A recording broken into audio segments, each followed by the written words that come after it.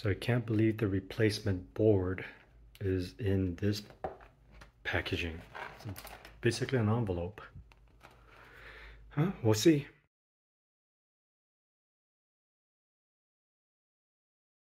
If you don't see those pads on the heatsink, check the old motherboard. You'll want to swap them over to the new one. The new board is black. And it actually took me two days to swap it out. So in this video, I want to share five takeaways that you all should be aware of before you get started swapping your board. The first one is on taking off the side covers. So to do that, you need to remove the, the, the pedals. And to remove the pedals, you have one of two ways to do it. Either hammering out the pedal rods to remove the pedal or just remove the pedal hangers entirely. I find that to be the easier route four screws and you're done. Just make sure you have a hex key that is four millimeters.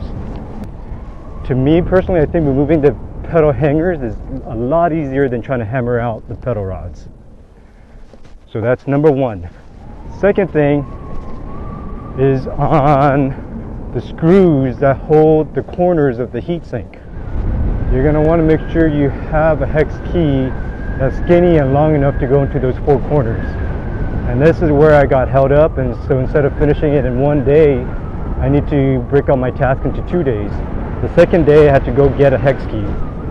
And so it took me a little longer than I really wanted to. And the third takeaway are those plastic clips that hold the wires in place. So when you're removing the cables, just be careful with those plastic clips that hold the cables in place. Some of those plastic clips are really just there for polarity reasons. I, I don't even think they're glued to the board or anything. So when you pull the cable out, chances are you're gonna pull the clip out too. And uh, if you don't know what I'm talking about, watch Eevee's video. They, they did a really good breakdown on how to do the board swap with the exception of showing you how to check for shorts in the driver board or in the MOSFET I should say. So again, those clips, just make sure when you're pulling them out, you don't break those clips. And if you break those clips, which I did, it's not a big deal. You just got to remember the polarities and put them back the same orientation you took them out of. The fourth one is when you take the driver board out chances are you should be able to reuse the same screws and same plastic washers. And the takeaway here is be gentle with those plastic washers. Don't crank away with it, especially if you're using a power drill, which I was, and it just overcranked it and snapped the plastic washers. And what that did was it, it didn't create an insulation between the screw and the contact point of the MOSFET. So when you're doing a continuity test, you're to see that there's a problem there. It'll, it'll sound off. So you want to make sure you don't break those plastic screws. Just be, be gentle with them. And if you do, no big deal. It should came with a whole new set of screws and washers. And so that's the fourth thing. Be gentle with these plastic washers. The fifth thing is it also comes with an insulation strip. You you shouldn't need to use that if you're able to remove the driver board from the heatsink fine, meaning you didn't damage anything, you didn't pull off anything, so you should be able to reuse it.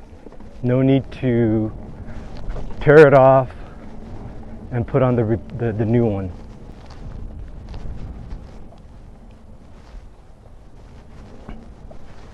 Okay. Go ahead. No, go ahead. I'll wait for you. All right. All right. Thank you. There, yep. Those are the five things you should be aware of before you dive in and swap your own board. Before you begin, I recommend reviewing Eevee's video, and I'll include a link in the description. And if I missed anything, please go ahead and comment below. The rest of the video is just me riding around to see if I might notice any differences Later on at night, I was able to max out at 37 miles per hour and this is without fancy mode enabled. So far seems okay. I hope you enjoy the rest of the video. Until next time, ride safe.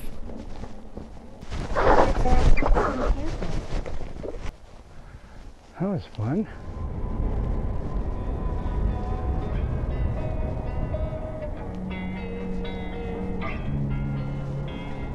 Right, we're also like concerned about this MOSFET failing because it hits bumps and it's off. Right there.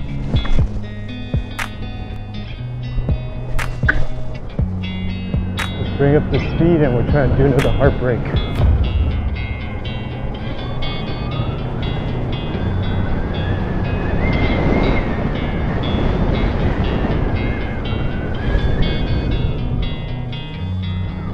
Seems okay.